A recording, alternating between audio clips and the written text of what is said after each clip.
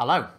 So I wanted to talk about I'm talking about two things in this video. A little bit about a module and then something else about just DMing in general and inventory management.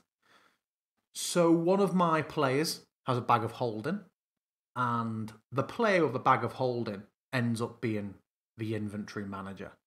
And a lot of because a lot of things end up going in the bag, a lot of the groups start to feel like well, that player thinks it's their loot, but it's group loot. And sometimes that can lead to in jokes and you know, just people generally not knowing what equipment the party have. Best way of sort of miss that I've found um, is I actually created a actor NPC, member of a, a member of the party that I've called the party, my group are yet 103 sessions in, and they just refuse to pick a party name. They just say they're strangers who've been thrown together. So while they pick a, a party name, which makes it a real pain in the arse for me when it comes to like what to refer to them as, uh, refer, refer to them as. So they are just the party. Um, so I have used this token before to represent their location on the Barovian map particularly when we were doing their hex crawl in Berez.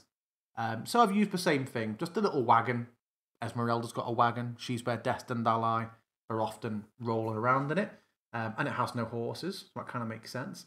But the main thing I did here is in the permissions for this sheet, I gave all the players observe. Well, I made the default observer and gave all the players access to it. So all the players can see this character sheet.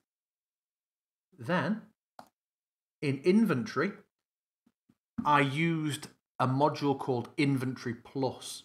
Now, Inventory Plus lets you add in custom categories. So you can create more categories within your um, characters.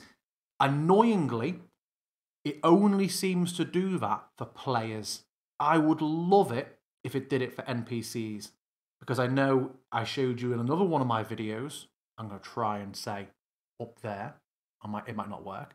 Um, I talked about shopkeepers and items they have for sale, particularly like a blacksmith or a potion seller. I would love to be able to create a category that's like services or research, so players can say, "Oh right, if I pay this much, they'll start research and making vicious arrows or a better heal and potion." Um, but it can't. It can't do it at the moment. It really, it really bothers me. So what I did in terms of bag of holding, they didn't just categorize it. Uh, the player who looked after the bag of holding, just for ease of navigating it, we said that he had a gore bag. He's a cleric. He does speak with dead, so he collects a lot of heads. So we just said that he had a gore bag, just like a subsection of his bag of holding, more for storage than anything else. And then he made a separate category for treasures. He made a category for items to be read. I do a lot of lore books and like background reading for my group. Um, he made a book, a, a section of books that he had read and books that he was working his way through. So when I made the party, I created custom categories of the same thing, and I just dragged them all from the player of a player inventory into here. Now, when you use Loot Plus, a lot most items default to either being weapons, equipments, uh, weapons, equipment, tools, or just generic loot. Um, so a lot of items will snap into the loot category. You can just drag them into the, the section you want them to be in. It's absolutely fine.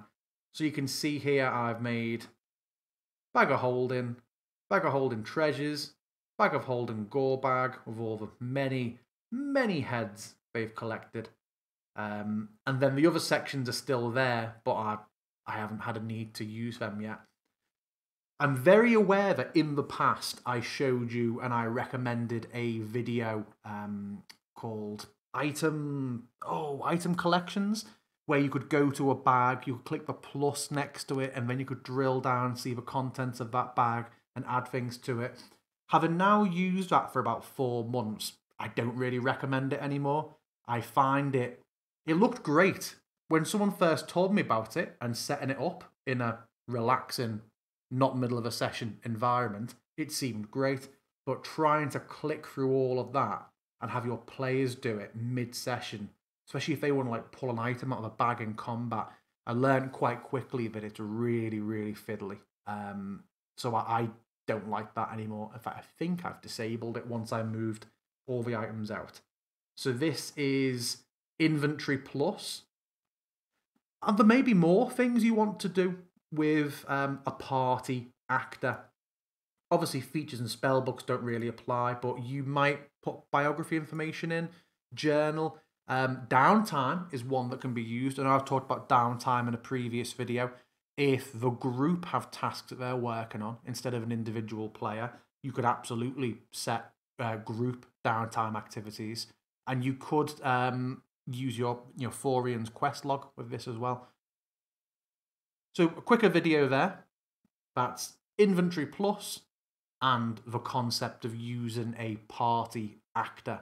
Um, everyone having access to that makes a lot of things much easier. Let me know what you think in the comments. Again, if you want me to cover anything, just give me a comment. If you want to check my campaign out, it's every Tuesday at half 7 p.m. Um, at twitch.tv forward slash Harrison underscore stream. It's full of Curse of Strahd spoilers, obviously.